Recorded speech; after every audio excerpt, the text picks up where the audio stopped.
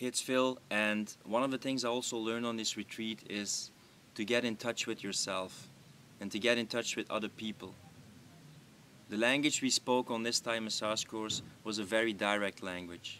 It was really touching the other uh, other persons and also being touched by other people. Because sometimes we can think one way and say another thing, or we can say one thing and feel a certain way. And it can be blurry how we actually feel. But when you actually use the human touch, you actually come from the place where you are, you know. You can't hide yourself. This society, especially in Northern Europe and Central Europe, we're not a very physical and bodily kind of culture.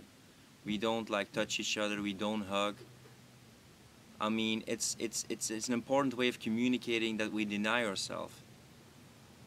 So in our culture, when we touch someone, it's directly something sexual, you know. It's like intentional, like I want to do this to the other person.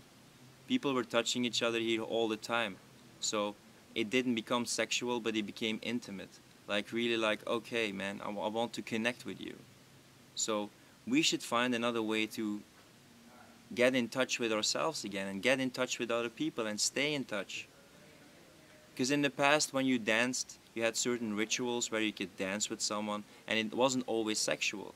It was just a kind of ritual, and hey, let's dance, let's play, let's see where it goes, without having the intention that it would lead to something. But in this culture, it's always like you do something to get a result.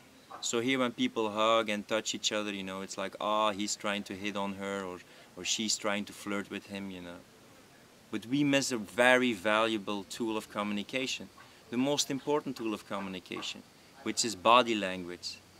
So start getting in touch with yourself, start getting in touch with other people, and then you will see that you develop skills that there are no words for, there are no feelings for, but you experience it.